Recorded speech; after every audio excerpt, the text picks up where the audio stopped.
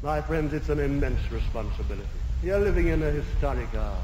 Do remember that always. Live in that sense, I beg of you, of history and of destiny.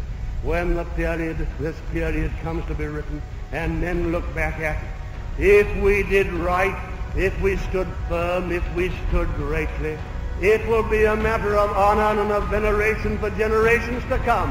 I could not ask to live at any other moment of history than this, because never has mankind, never has the human species been confronted with such possibilities, with such choices of disaster oh, or of greater heights and greater glory.